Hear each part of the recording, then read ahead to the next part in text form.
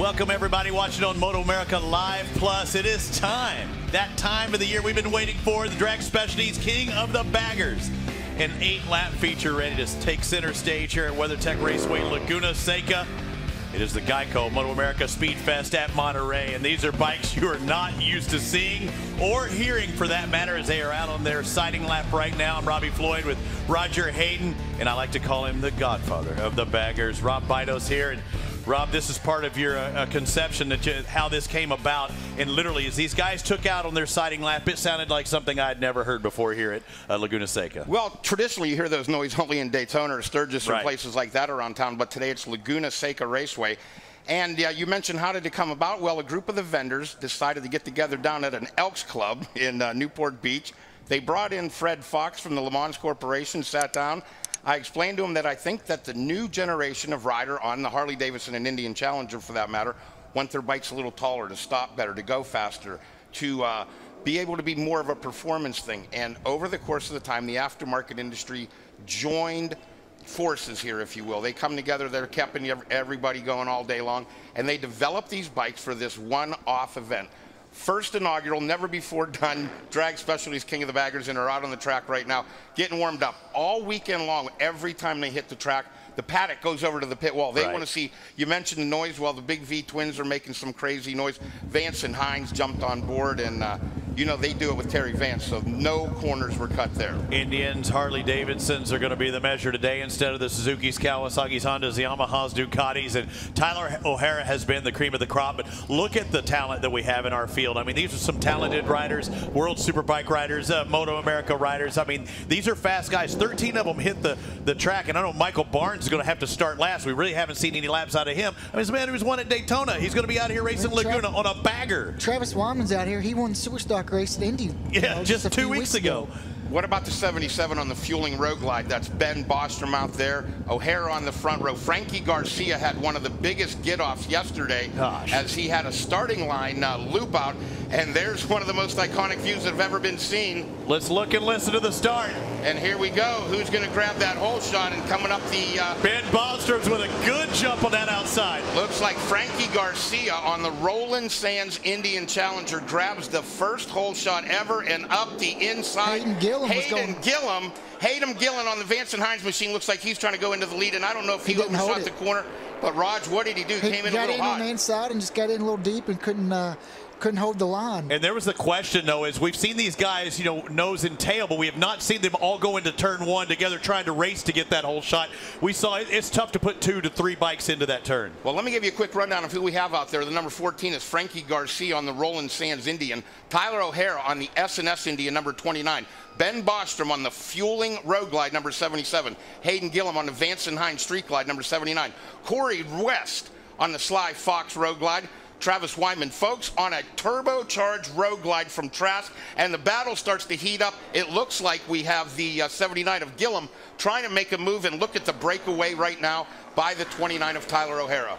And Gillim, uh, you might remember him just last year in Moto America racing in the Super Sport class, trying to battle for a championship. But O'Hara has been so fast, and they put so much money into that Indian, you know, coming up into here. Roger, you talk about everything social media these days. You saw them working a lot with social Oh, media yeah, and that bike. I mean, they were out testing, getting ready for this event, and you, you know, they were saying how much different things they've changed, and uh, you know, it's pretty interesting. I thought it was just going to be a, a race for fun, but you know how it is. You start getting these racers in it, and uh, it turned into a competition pretty quick. And you know how it is. I mean, when Harley Davidson and Vance and Hines gets into something, it's always going to be all the way, and the same with with Indian. And the surprise to me, Rob, was that Frankie Garcia was out in front because that was actually what cost him yesterday was the start. He tried doing a practice start when he left a pit lane and looped that bike out. I don't know how that happened. It is a slight uphill, but how you loop out a 500-pound machine in literally two and a half feet, I have no idea. Dunlop tires, my friend. That's go. how you do it. The Josh Q4. Aaron, let me give you the rest of the rundown because the 50 of Josh Herrin out there. Performance Machine Biddleman Street Glide. Eric Stahl on a bike they call the Mullet from Alloy Art number 99. Michael Woolaway built the bike. He's riding the bike. He's one of the older riders in the group. He's on the Saddleman Road Glide 87. Tony Salma on the 150, the Speed Merchant bike. Josh Chisholm. Everybody needs a Barnett clutch on their bike. He sits in 11th. and how about the second generation Logan Lackey on the Arlen Ness bike as they celebrate 50 years right now. 50X running in the number 12 spot, and Michael Braun's on the Bassani bike, not able to make the start. And you talk about the second generation with Logan Lackey, his dad Brad Lackey, former uh, champion, uh, motocross rider. But uh, we're talking about Harleys and Indians out there today, and this is a great race for second place. Hayden Gillim on the 79, the 14 of Frankie Garcia. Uh, Garcia, you know, would they have raced together? I mean, recently, would you think, Roger, in the past few years? I mean, No, Garcia they- they haven't. been there, They but haven't. too much age disparity. Not even that, but Frankie hasn't been uh, doing the road races the last couple years. He started out, and now he's been doing the hooligan things Yeah. for the last couple years. So no, I don't think they've raced uh, with each other before. But both guys know what they're doing in a racing sense, and it maybe just not with this equipment. And now we're getting to see. Look how tight they are. And you want to talk about cutting through the wind. We talk about drafting at Indianapolis and other places and Atlanta that we've been on. Um, here, coming down that front straightaway, I mean, it's going to be like pulling behind a semi trailer if you're Frankie Garcia and you have Hayden Gillim just in front of you. Yesterday, I told y'all that I thought uh, Tyler O'Hara would do a 35. He's only two tenths off that right now. What is uh, the fist pump for uh, Travis Wyman as he was coming down the front straightaway? The turbocharged uh, Trask machine right now, letting everybody know maybe he's coming through like Babe Ruth calling the shot right now. In behind him, Corey West on the slide glide, number nine, starting to inch up on him. West right now in the number six spot, trying to climb up, but Travis Wyman looks like he's telling the boys on the pit wall, I'm coming through. He's got that turbo hooked up. He's not looking at the trap speed right now. We're looking at 125, 126. So big mile per hour out of these machines as they come through Laguna Seca. Quick look over his shoulder just to make sure that the slide guide's back there. And the 86 of Travis Wyman continues on. and running that turbo, taking some chances, but with it not being a hotter, higher temperature, I mean, I think he, he could be safe. But still, you know, a lot of questions to be asked because we really haven't seen these bikes going this fast on this type of track with these type of riders before. There were so many people out there that said, oh my gosh, the corkscrew, the this, the that, the machines. And folks, I got to tell you, if you're here, trackside or home watching, uh, the Drag Specialties King of the Bagger has not only lived up to the hype, but it has exceeded it. Great racing, and it looks like the Vance and Hines bike trying to break away right now just a little bit from uh, Frankie Garcia on the Roland Sands Indian Challenger, Tyler O'Hara on the Indian Challenger out front, S&S back. And I can just tell you, these guys are going a lot faster than it looks like on this TV. I mean, looking out our commentary box window, these guys coming over turn one. I cannot believe where Hayden Gillim is right here. How fast they are going on these baggers over this turn one. You know, one of the great things, especially for the uh, road racing community, is there's so many drag specialty dealers around the country, and look at them backing it in on the Vance and Hines Street Glide, having watch parties at their dealership, whether it's an Indian dealership. O'Hara made a mistake. Oh, This is our leader, Tyler O'Hara, off the track, and he's dropped back to what? Third now. Third. He picks it back. Now we got a race. Herrin's having difficulties on the 50. does Hayden Gillim on the Vance and Hines Oh, Street man. Glide. Well, look, Oh, it looks like he's smoking. he's lo- he's either losing something. Was that smoke? Was that fluid? Something's happening. Look at the bike back in third in this picture. I don't see it now though. Maybe it was just dust. Maybe brought a little dust out there. Hey, now we've got a race, Roger. He can maybe turn lap times a second or two quicker than the field. Well, he's going to need it if he's going to win this race. Five to go, and the battle of Indian versus Harley has heated up around the world right now. Hey, Roger, what's the one thing you see about Hayden Gillim? He does not like to give up position. It's one thing to be in front of Hayden Gillim, to get by him is a totally different Oh, man, story. you think that bike's wide? If somebody gets close to him, he's gonna make it a lot wider. yes, sir. If it's three and a half feet wide now, it's going to be seven and a half feet uh, coming into the turn with somebody else.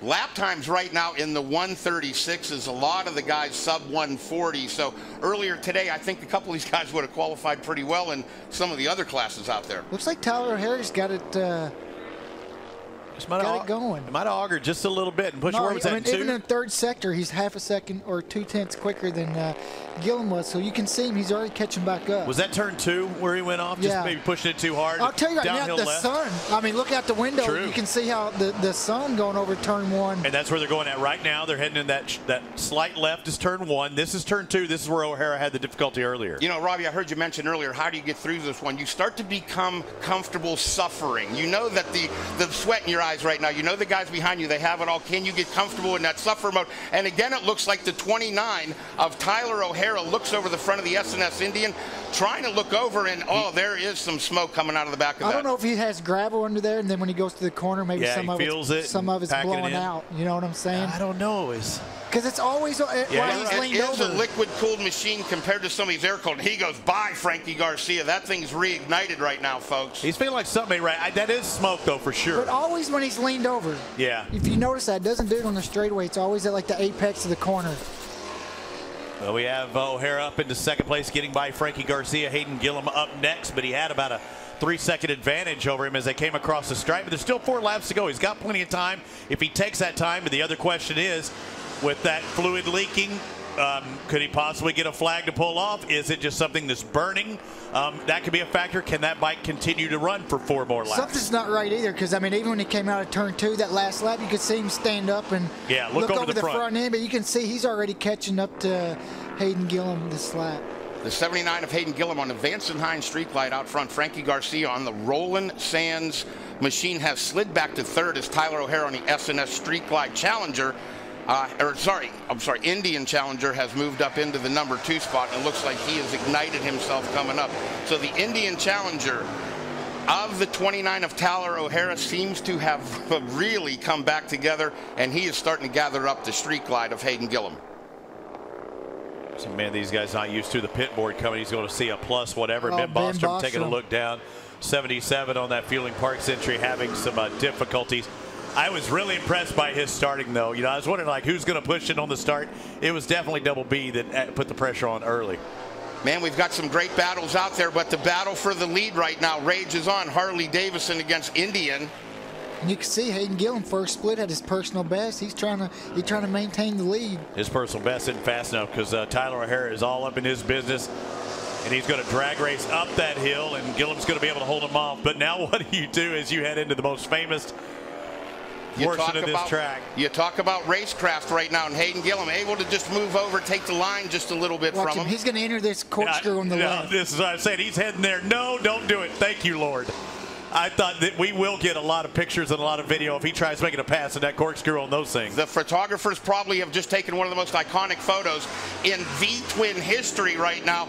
Indian Challenger against Harley Davidson Street Glide, and the battle rages on. Three to go. Here's where a double wide Hayden Gillim's going to play, come and into lappers play. too. They're coming up on some lappers. Oh, and, and I think this is what it. O'Hara needs to make that pass early. Backing it in is Gillim. The first foot drag of the weekend. I saw it come off the uh, peg. And folks, there's only one bike with floorboard boards, and that's the uh, Arlen Ness Logan Lackey bike. And these machines are hooked up. Did I just see uh, smoke coming out of the exhaust possibly on O'Hara that time? That's the first time I thought I might have seen it out of the exhaust. Two laps to go now. There's the turn two. That's where we had the problem with O'Hara earlier. O'Hara's definitely not doing the lap times he did beginning of the race. I think he's kind of being patient right now, don't you? I think he had the speed to get up there, and he's just trying to put the pressure on, maybe make a mistake out of Hayden Gillim. Drag Specialties King of the Banger has lived up to the hype as we have a two-man battle up front. Frankie Garcia still in third. Travis Wyman on a turbocharged Trask performance bike up to fourth. Ben Bostrom back to fifth. Corey West on the slide glide. It looks like the Harley's got a little more top speed, but the, the Indian in the corners is a little better. Liquid cooled against air cooled right now, and it's another big drag race up the hill. And Hayden Gillim again holds the advantage. Two to go. Little bottom end grunt out of that Indian, and Hayden can run it wide. He's going to use up all of that track that he can, and he's really good at backing that bike in. It may be big, but he's he's kind of freewheeling coming into some Tyler of those turns. Harris going oh, for it oh, oh, oh, oh.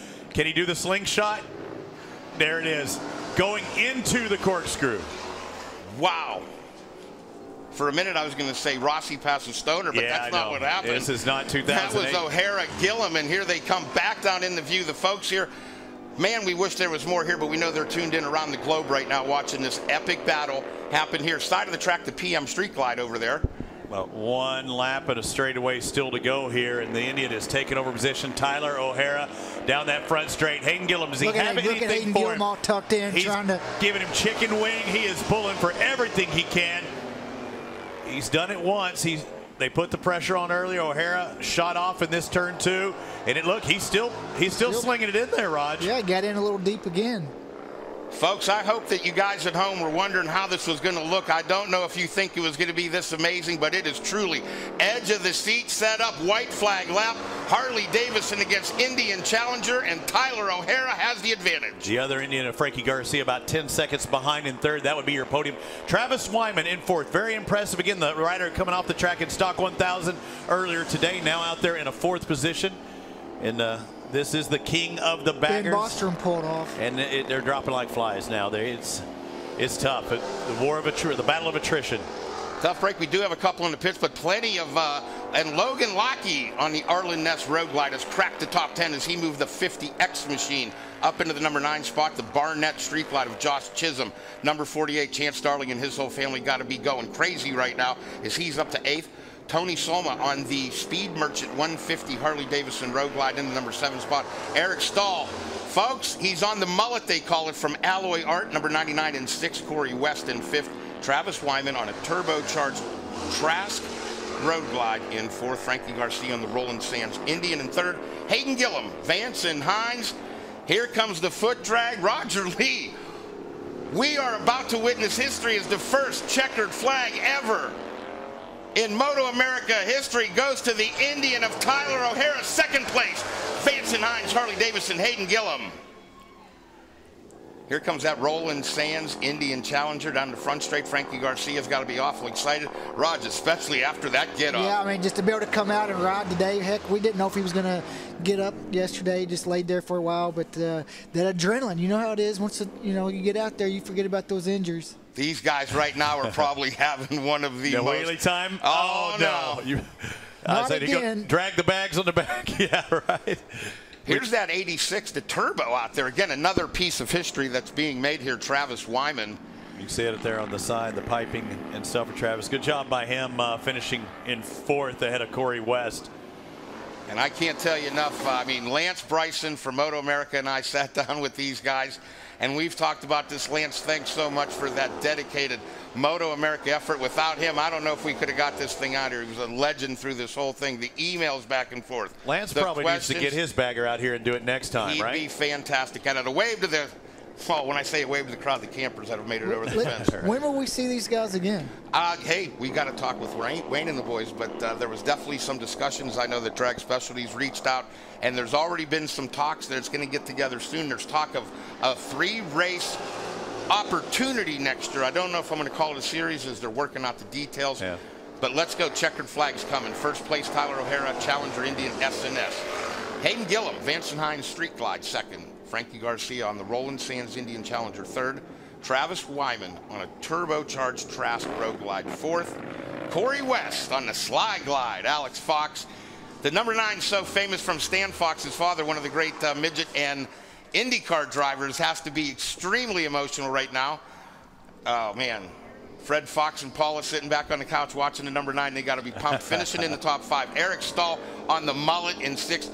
Stahl and Soma were some of the first guys to ever come out here on Dynas back in the day. I think the street bike crowd wanted to beat them up, and here they are now on television. All the Valentino Rossi kisses to the crowd. Yeah, he did the Usain Bolt as he was coming Oh, by and doing the, the bow and arrow. Eighth place on that Barnett Street Glide. They've had this bike a while. They dug it out of mothballs, souped it up, and Chance Darling and his crew have to be over the moon from Barnett.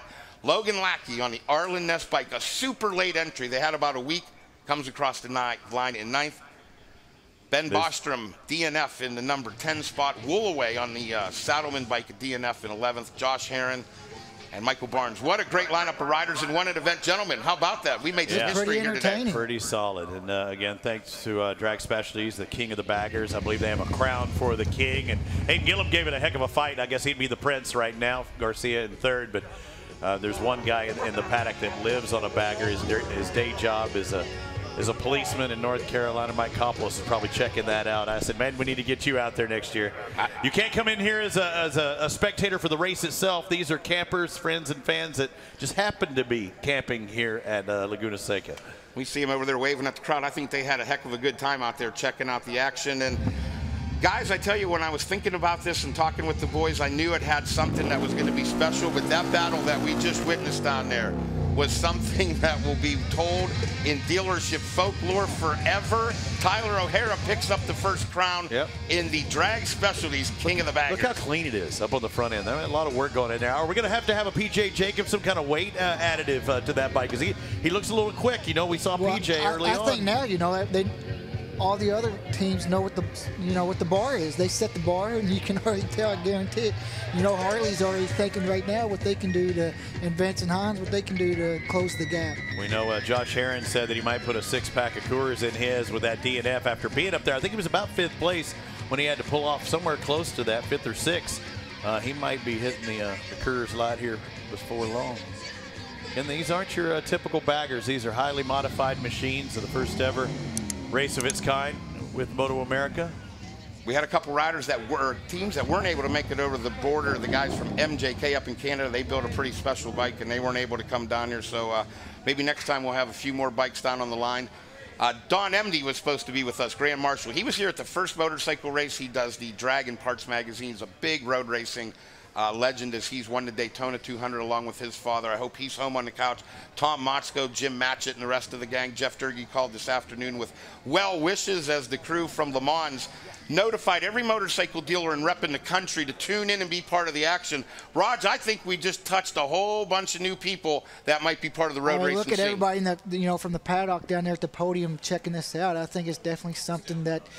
You know, people. I don't. I didn't think I'd ever see a bagger, and all these guys out here going as fast. Like I'm telling you, they- they were going way faster than it looked like on TV and dragging their knees. 126, 124. I mean, the trap speeds are there. 136 lap times. just- I mean, I gang, think come that's out here and see how fast that is. And it's a short straightaway. I can Yeah. only imagine we go somewhere and they can really stretch their legs. That's the straightaway. That didn't impress me as much as what they were doing in the turns. That's where it impressed me. The corkscrew, all you folks at home, I have to enjoyed that immensely because I know I did.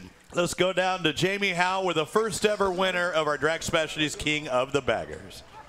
And it's Tyler O'Hara who brought the bike to the victory lane.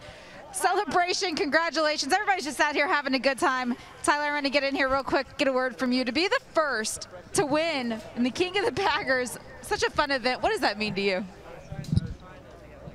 I'm JPPY, I'm HJPPY. I know I am, I surely am. oh, I'm, just, uh, what was your question? Oh man, that was so amazing. Uh, just didn't make it, well, didn't want to make it that entertaining, you know, but uh, we just had a moment going into turn two. Uh, you know, during the race, you know, I think we just found another level and we were pushing a little harder than we have all weekend. It was just a touch too much. And, uh, thank God that we just kept it on two wheels and was able to get back in the fight and then just kind of take it down a notch and uh, be able to reel Hayden in. But you know, I just can't thank the whole team, S&S Cycles, Paul Langley for giving me this opportunity, Indian Motorcycles, uh, Garrett Gray, John Fox, everybody involved. This new Indian Challenge is the ultimate V-twin bagger, and uh, you know what a platform and uh, just the whole team. Jeff, Dean, Dave, Dallas, everybody, uh, all the team sponsors, Full Spectrum, Fox Shock, Saddleman, Pro Plates, K&N, AirTech, Klock Werks, and uh, Beringer Brakes. You know, I, I gotta thank my family, my mom and dad for uh, for always supporting me, my beautiful wife Lindsay for always uh, supporting me and uh, chasing my dreams. I gotta thank my trainer and uh, my personal sponsor, 6D. CD, Moto Liberty, RS Taichi, Motion Pro, Alpinestars, Floyd's Leadville, Motool, everybody that just uh, put this together. Moto America, Drag Specialties for giving us this opportunity to come out here and uh, showcase this beautiful bike. And all these fans, you know, we wish you were out here. We miss you. We love you. He was certainly ready with his list here in Victory Lane, knowing everything that went into this. When you went off track, what was going through your mind? Solid run by Tyler O'Hara, and he, he is done with his interview, uh, Jamie. he said he's done. So just pushed the envelope a little bit too much in turn two, and we did catch it there, and there he is, a freestyle Willie around the what outside. What about those bike skills running off the track and the gravel trap on, on a bagger and keeping it on two wheels? That's pretty impressive. And how about uh, Tony Romo with Dunlop but out there doing the data? You know, I mean, he's getting how these Q4s react. Let's let's put it on paper. Let's go back down to Jamie Howe. Well, for Hayden Gillim, aboard the Vance and Hines Harley with Terry Vance on the property, everything that went into this event. To be able to be up here, finish those eight laps solidly, how special is that? Man, it was so much fun. Uh, the Vance and Hines guys gave me an awesome bike to ride, and you know, just coming out here and, and riding in a, such a special class is just, it's it was it was such a fun weekend. And actually getting to battle with Tyler after he made a little mistake. Uh, you know, with the sun setting as it is, I could see him in a few of the corners. I could see his shadow coming up. So it was, uh, man, it was such a blast. And I just got to thank the Vance and Hines guys, Terry for giving me this opportunity, Gene and Mike for working on the bike, and man, just everybody out there that's watching, thank you, and, and everybody that's out there buying these bikes and making this possible. It's it's amazing. Nice job. Excellent run by Hayden Gillim. I knew he was going to be difficult to get by and was able to finish in that second spot. You know, one guy, a motocross guy that I think we need to see out here at King of the Baggers, Cody Gilmore. He's a Harley legend. I need to get Cody out here. I'd love to see him on this. And I was happy to see Frankie Garcia make it after that hard fall yesterday, Jamie. Well, for Frankie Garcia, you know, all of the attention that's been going on around here, we've seen the video of what happened yesterday. You made it out here, you finished the race in third. How are you feeling? Yeah, yesterday we had a little bit of a mishap, and uh, I was hurting pretty bad after that. Uh, we went home last night, and I set my alarm clock for every hour last night to make sure I got up and stretched my, my thighs. They were, uh, I, I, couldn't walk when I left the track yesterday, and I, I, wanted to race this so bad today. Laguna Seca is my home track, and I've never got to race here. So racing here today was was a big goal of mine, and making that happen was huge. And you know, there's there's been so many people behind this whole program: Indian, Roland Sands Designs, Dunlop. I mean, everybody, S&S. They've they've all done so much. So I, knew I had to be here today and do everything that I possibly can to make sure I race today. And um, you know, this is the first race that I've been to since uh, my, my, brother recently passed away uh, three months ago, and and uh, we're out here doing it for him today. I wanted to go around this track for him this weekend, and uh, that's what we did. What was your brother's name?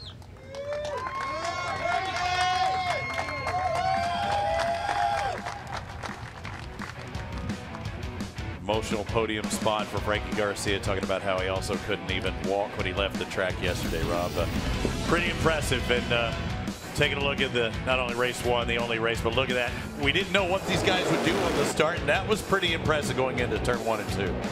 I tell you what, watching Bostrom come up there, him put from the second row to the front. Uh -huh. But that Indian of Tyler O'Hara on that S&S bike was impressive. This drag race here, Vance and Hines and Roland Sands coming down into your lap right now.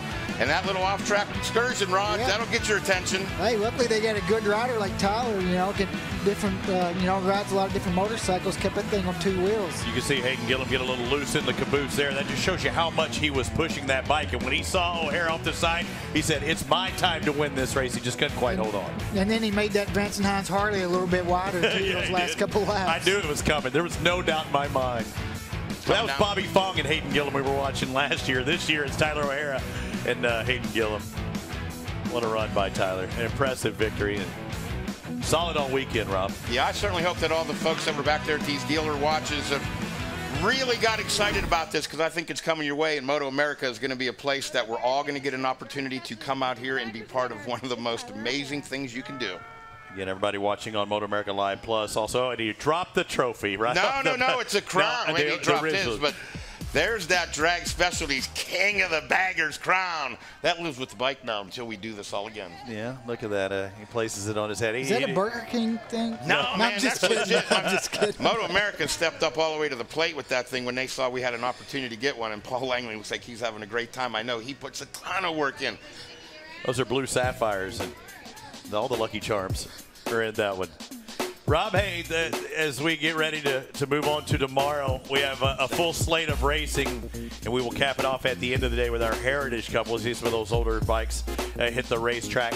Honda Superbike tomorrow morning, kicking it off race two, uh, followed by the Twins Cup, Super Sport Liqui Moly Jr., and our third and final race of the year for the Honda Superbike. Uh, 3 o'clock locally in our Heritage Cup. Rob Idos, it's been a good one. Uh, thank you, Godfather, for showing up here. Hey, guys, I hope we get to all do this again a whole bunch more in the future. I hope everybody that's at home had a great time, and this was the Drag Specialties King of the Baggers. O'Hara takes the victory. Gillim and Garcia rounding out the podium here at WeatherTech Raceway, Laguna Seca. On behalf of all of our crew here, Roger Hayden, it's a good one. I've had so much fun today. I think we should do it again tomorrow. What do you think? Let's see you tomorrow. Let's see it again. Danilo Lewis. I mean, uh, several guys having some of their best finishes of the year. Some had races that they wish they could forget and will have to. King of the Tacos up there, our cameraman, Cam Petersen, taking the Superbike Cup. What a strong run by Cameron as well in the Pono Superbike classes. He's still look searching for records and Rocco Landers in the local Moly Juniors. Dominic Noel trying to knock him off one spot. Tyler O'Hara wins the King of the Baggers. What a race it's been, a race day it's been. We still have one more to go in this 2020 season. See you tomorrow.